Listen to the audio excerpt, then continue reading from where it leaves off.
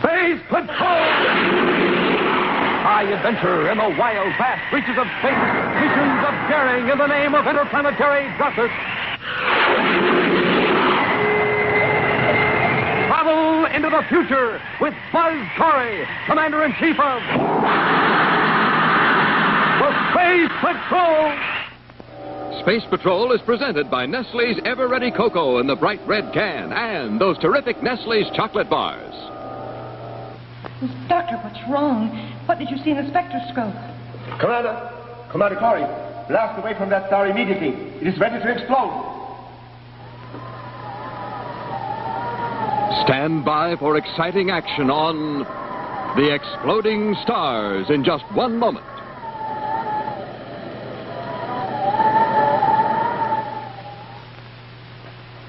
What's new? Nestle's new. Nestle's what? Coconut. Space Patrollers, here's the news we've been waiting to tell you. Yes, sirree, boys and girls, Nestle's new coconut bar is really out of this world. It's so delicious, like nothing you've ever tasted before, because there's never been a chocolate bar like this.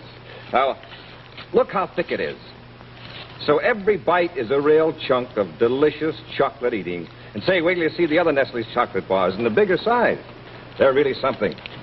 There's a thicker milk chocolate, a big almond bar, a bigger, crunchier crunch, and, of course, wonderful new Nestle's coconut in this red and cream pack. They're all so big, so delicious, so satisfying, and they're only a dime. Space Patrollers, why don't you try the wonderful, bigger, more delicious Nestle's chocolate bars? You'll love them all, and especially you'll be nuts about Nestle's coconut. Now, here's news about Nestle's sensational new rocket cockpit. A real model with moving view scope, coder and decoder, and cannons that actually fire. Every space patroller wants a rocket cockpit for his very own. Well, every space patroller can have one. Listen, in a few minutes, we'll tell you exactly how.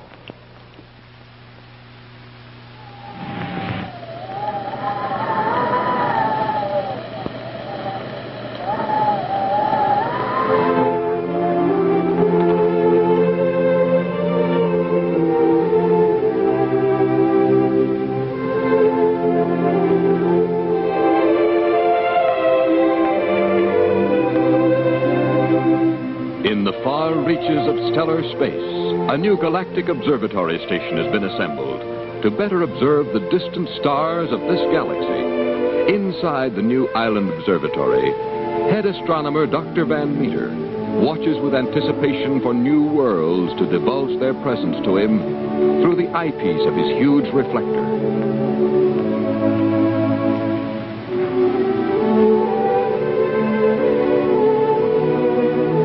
Suddenly, he is startled by a spectacular sight. Amazing. A nova. It's actually a nova. In its beginning stages. The magnified image of a distant star upon which his telescope is focused begins to swell in size. The thin, flaming boundaries of the huge sun become distorted and vague as boundless energy is unleashed with the fury of a billion hydrogen bombs, spreading and spreading its lashing tongues of gas and flame, devouring all matter as hungrily it reaches out farther and farther, multiplying its intense heat. Heat capable of vaporizing even its own satellites. Dr. Van Meter is truly observing with awe the fiery turbulence of a nova, the explosion of a star. 23 light years away from the Space Station Observatory, on the man made planet Terra, far beyond the destructive range of this phenomenon of galactic space, the nova, observed by Dr. Van Meter, is nevertheless destined to have its effect. Some days later, in the central office at Space Patrol headquarters, there is someone else who, like Dr. Van Meter, is expressing interest in astronomy. Cadet Happy is studying a chart of the solar system. In fact, there is interest in things galactic being demonstrated by nearly everyone these days. By Carol Carlisle, daughter of the Secretary General of the United Planets. By Major Robertson, Security Chief of the Space Patrol. And by the Commander in Chief himself, Buzz Corey. Of course, his first model is much too large for many practical purposes, like carrying it aboard ship, but as it's refined, its size will reduce. You know, it's almost inconceivable. A space phone that will actually transmit through hyperspace. Do you realize how big the United Planets is? I mean, how far it is across the solar system? It's seven and one third billion miles. I just figured it out. Seven and one third billion miles. It's like our boy Happy's brushing up on his astronomy. That's a good thing once in a while. We travel through space and hyperspace so rapidly now that well, we sometimes forget just how vast it really is. You know, this is what amazes me. Just think. Light travels at 186,000 miles a second. Do you realize it would take light 11 hours to cross from one end of the solar system to the other? Wow. Like I was saying, light travels 186,000 miles a second. Yet, with this new space phone, we can transmit instantaneously to an observatory station 23 light years away. Well, this employs a gravimagnetic principle, Robbie. It's not restricted to the speed of light. Smoking rockets. You know, it, it takes Pluto 90,000 days to revolve around the sun, and it only takes the Earth 365 days. That makes one year. Yeah, but just think of it. A year on Pluto is uh, 90,470 days long. Happy. Yes, sir? I like the interest you're showing in astronomy. Well, thank you, sir. But I think you're becoming much too impressed with the size and importance of our little solar system. Little? You call seven and one third billion miles in diameter little? In galactic space, it's insignificant. Robbie, show him the chart of our galaxy, will you please? Yes. Now, Happy, you see what appear to be clouds. Well, yes, sir. They're Milky Way. Uh, actually, they're uh, stars or suns, just like ours. Exactly. Several billions of suns like ours. Most of them larger, many of them possessing a system of planets revolving around them like ours. I know that, sir. Now, this big, impressive solar system of ours, Hap, can you find it for me up there? I think so, sir. Uh, at least its a general location. Go ahead. This I've got to see. Thank you. Well, let's see. The, the whole galaxy is uh, 100,000 light years across. Mm, That's uh, six quadrillion miles. Yes, sir.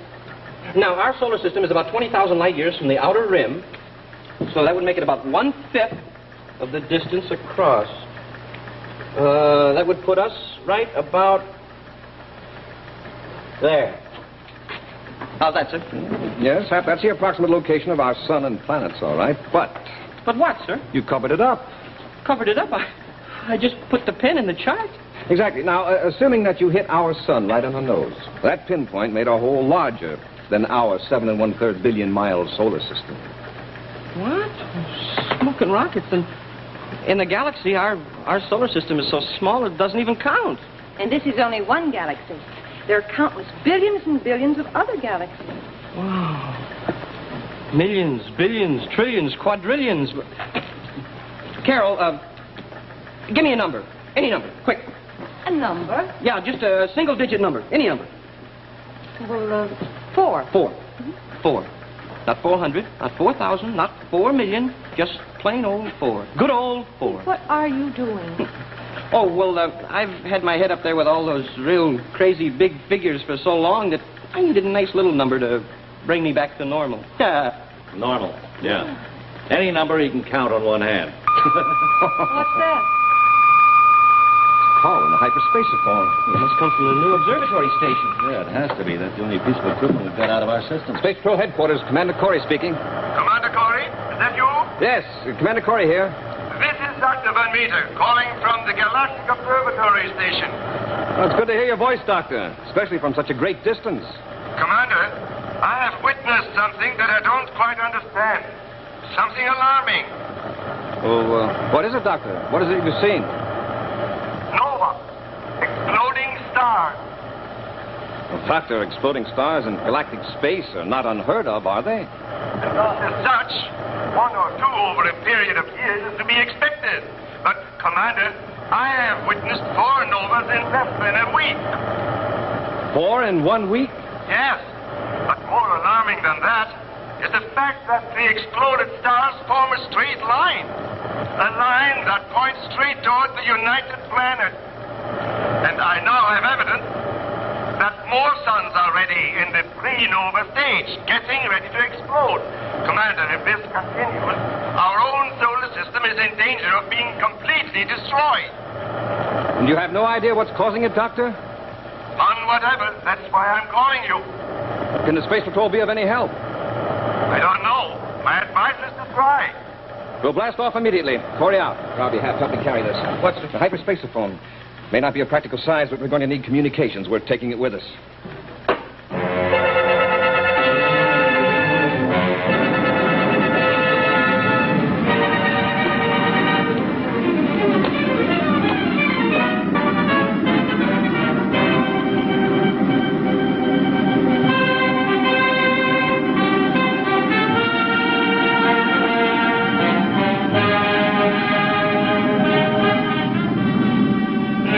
Our course is set, Commander.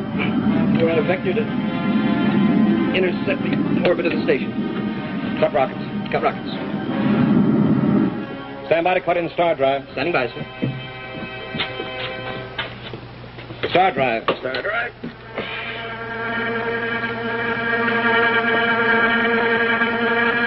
With a tremendous surge of power, the giant gravimagnetic generators drive the big battle cruiser through space, past the orbit of Pluto, beyond the outer boundary of the solar system, deeper and deeper into the void, faster and faster into hyperspace, where the 23-year light-year journey is reduced to an almost timeless detachment from things familiar.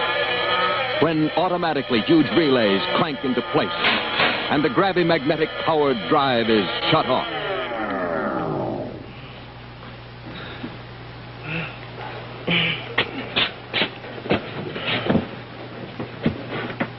Hap, my boy, I want to apologize for what I said about your mathematical prowess. Your astrogation's perfect. Huh. Uh, can you see the observatory station? Dead ahead. Prepared a couple to station. Stand by. Standing by.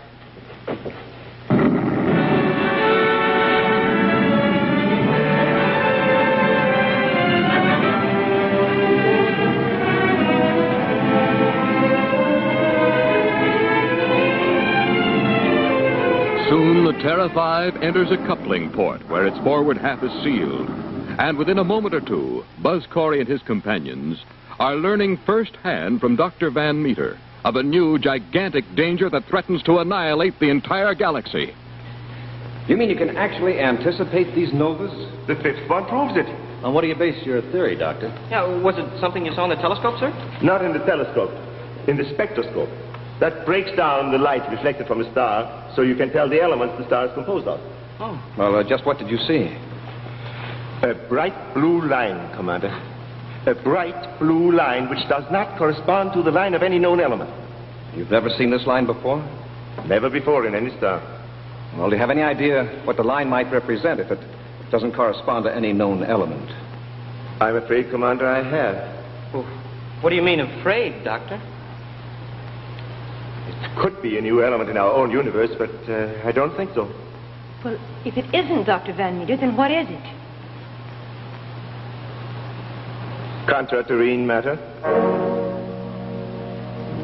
Smoking rockets. Contraterrene matter is inside-out matter. Matter made up of elements completely the reverse of the elements that we know in this galaxy. Where did it come from? That I can't say. But this I can say. If contraterrene matter is present in these stars, that would explain the explosions. You see, that would repulse all of our known elements. It would make them spread, set up a reaction, and generate a nova. Smoking rockets, and they must come from someplace clear outside, clear outside our galaxy. But where? You mean another galaxy? All right, now, to the exploding stars forming a direct line to the United Planets, the important thing is to find out how to stop it. The problem is this. My telescope can only view these stars from one angle. If we could see around and behind those stars, maybe we could get a clue where this matter comes from and how to stop it. Fast spaceship could do it. Sure, we already know which one is due to nova. If we could get behind it before it happened, then. Smoking rockets, what am I saying? If that thing should explode while we were there, we'd be burnt to cinders. Or maybe completely vaporized. It's got to be stopped.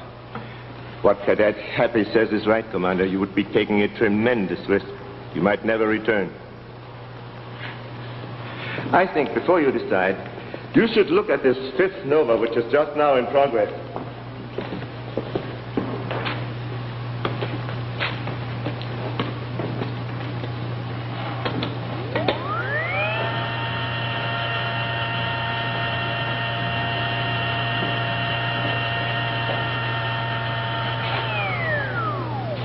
Of course, we can only imagine the intensity of a nova from this distance.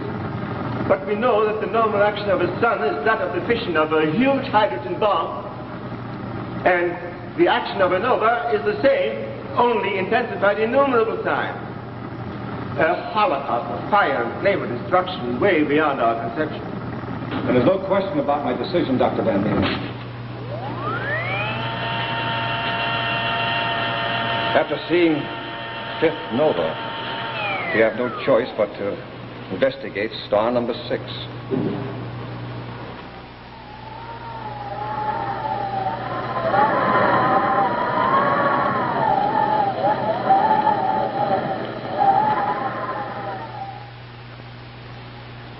Calling rocket. Tony, watch out. Enemy ship straight ahead. Got him in my sights, Major. And pow, hit him dead amidship. Good work. Now, full rockets ahead for Mercury. Hi there, Space Why'd Patrollers. you come up with These rocket jockeys zooming through space can be you. Yes, you can have all the fun and excitement of flying adventure when you get your rocket cockpit. You can sit behind this control panel that's an exact replica of Commander Corey's XRZ. Watch how it works. Step up the anti-gravity rockets. I think we can land here. Better send our code messages first, though. Let's see. Wow. Don't bother. We're being followed. Put your ship in the star drive and we'll cross over the timeline where no enemy can follow. Roger. Let's see. The year 3855 ought to be safe enough. Okay, Sammy. Set. That was a close one. We'll look safe now. How about going home? I could use a hot cup of Nestle's instant cocoa. Hi there, Tony and Sammy. Did you have a good flight? I'll say, Captain Barkley, just like we always do in our rocket cockpits. There's so many adventures you can dream up. And we sure go for all those slick moving parts and working dials. The view scope, the star drive control, the atomic cannons. Space Patrollers, I hope every one of you will get your rocket cockpit so you can join in the fun and decode the secret message Commander Corey is going to send. Send your name and address and 25 cents in coin together with the lid from a can of Nestle's Ever Ready Cocoa or a tracing of the front of the label to Nestle's, Box 54, St. Louis, Missouri. That's your name and address and 25 cents in coin, together with the lid from a can of Nestle's Ever Ready Cocoa or a tracing of the front of the label to Nestle's, Box 54, St. Louis, Missouri.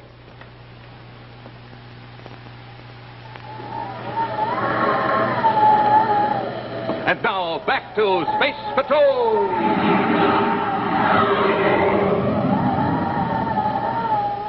The blue line in the spectroscope is getting bluer and more and more intense, Commander.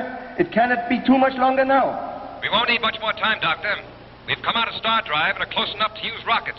We're approaching the sun now. Stay away as far from it as you can. Oh, we won't go any closer than we have to. Do be careful, boss. Be well, Carol. We'll contact you from time to time. Corey out. Fire rockets. Fire rockets. Hold your course as it is. It'll take us past the sun. In a minute or so, we'll be looking at the other side of it. Major, do you really think we'll see anything behind it? Hard to tell, Hap. Something tells me we're going to be lucky even if we get behind it. Doctor, what's wrong? What do you see? Commander, Commander Corey, blast away from that star immediately. It's getting ready to explode. To get a clear view of the outside of the star. If we don't do it now, we may never get another chance. Don't wait. It's only a matter of seconds. All right, Doctor. Have you heard him? Full rockets. Yes, sir. Hey, it happened. The Nova! It, it blew up. Let's get out of here before those hot gases get us!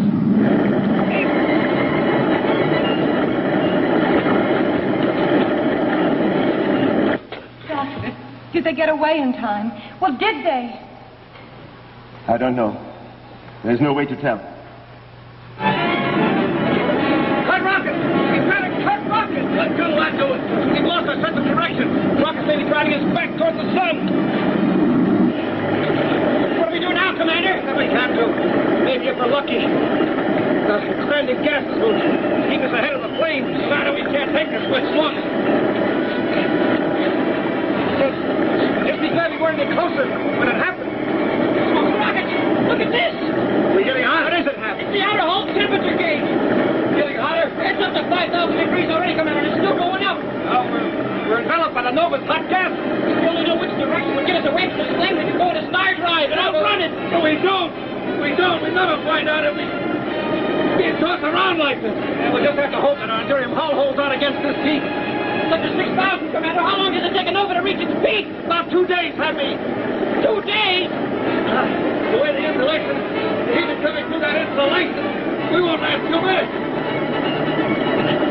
Buzz, please answer me, please. This is Carol calling Terra 5. Can you read me?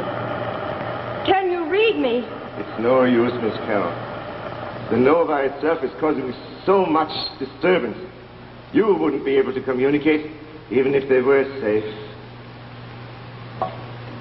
Even if they. You think they're lost, don't you? Don't you? Well, answer me! They couldn't have much of a chance.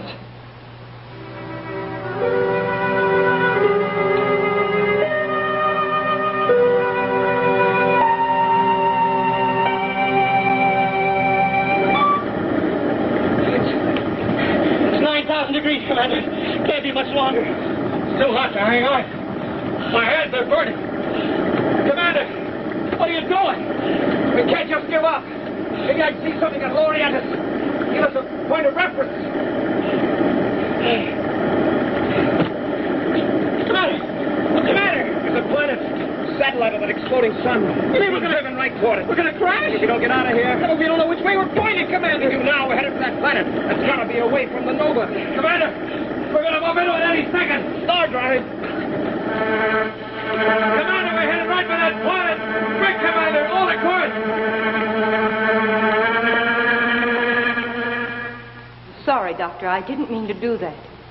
I understand. You won't mind if I use your ship, will you? Use my ship? What for? You need information about what's on the blind side of those stars. I'll get it for you. No, Miss Carol. I couldn't let you do that. I'm afraid you can't stop me, Doctor. It's all right. I'm sure Buzz would have approved.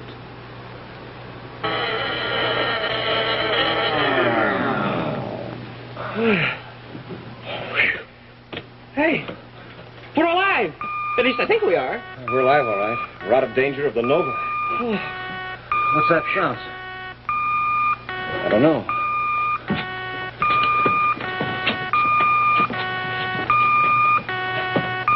We found it. Found what? The sound. It's coming from a strange looking object out there. An object that's right in line with the Nova. Take a look. Smoking rockets.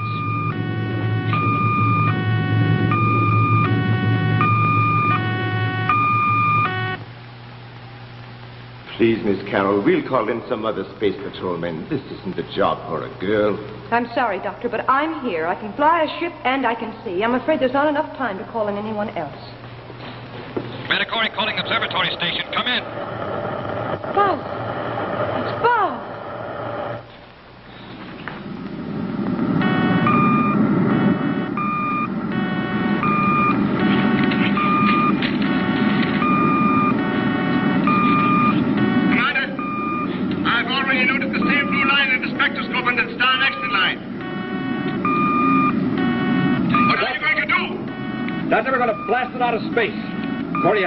Out. Stand fire missiles. Just say when, Commander. I'm ready. On target. Fire one. Fire one. Old Deadeye Happy, they call me. And miss. I never miss. Missed. Commander, that thing veered off course when it got close. That thing must be wearing a protective force shield. We'll never be able to hit it then, Commander. Commander, this is Dr. Van Eden. You'll have to hurry. The next star's getting ready to Nova. Pat, maneuver the ship above it. Yes, sir. On target. We're going to have a missile ahead of it, right down into its projected beam. Steady as she goes. Steady she goes. Fire two. Fire two. That does it, Commander. You did it. It's a miniature Nova.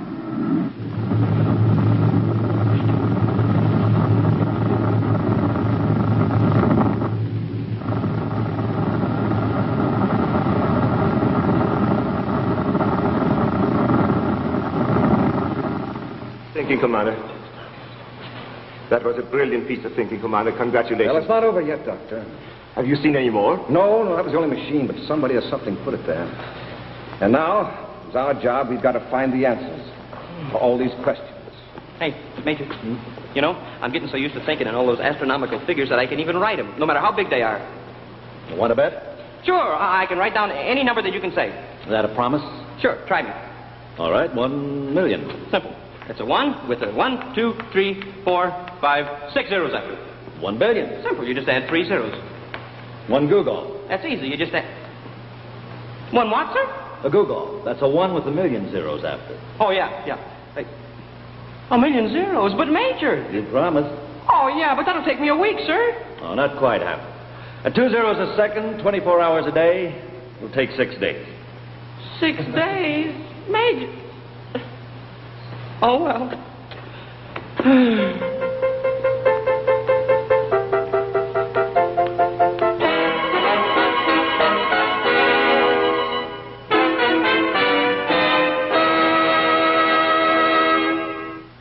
In just a moment, a preview of next week's exciting Space Patrol adventure, which will be brought to you by Rice Chex and Wheat Chex, the bite-sized breakfast cereals in the red and white checkerboard packages. Jimmy had a special blackboard in his room, and he put down on the blackboard everything he was going to do every day. Only some days he didn't do much at all. And then something happened to Jimmy. Know what it was? Chex. That's what. He charged up with Chex and had more power for more fun than he'd ever had before. From then on, Jimmy's blackboard looked like this. He had just about as much fun as any kid you ever saw. And you know why Chex gave Jimmy all that power for all that extra fun? Well, watch, because we'll show you right here. In every Chex, there's not just one power packed grain of wheat or rice, but more than 10 grains of power in each super tasting bite sized Chex. Have more fun power yourself. Charge up with wheat Chex or rice Chex today. A, B, C, D, E, F, G. Bite-sized Chex taste good to me. Bite-sized Chex. Wheat Chex, rice Chex. Get your checkerboard cereal today.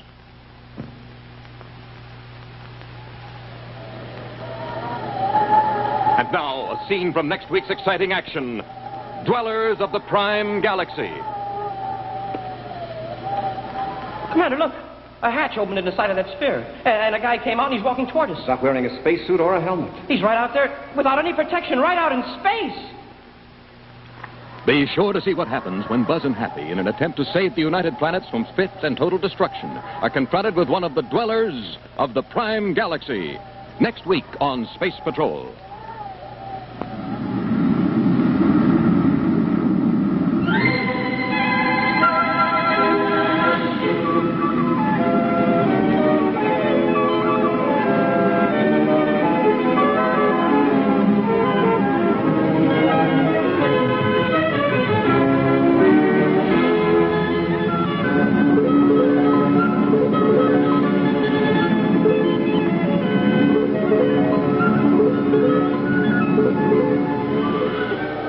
Patrol was brought to you by Nestle's Ever Ready, the instant cocoa, and famous Nestle's chocolate bar. Remember, N-E-S-T-L-E-S. Nestle's makes the very best chocolate. Be sure to hear Space Patrol on ABC Radio every Saturday. Consult your newspaper for time and station.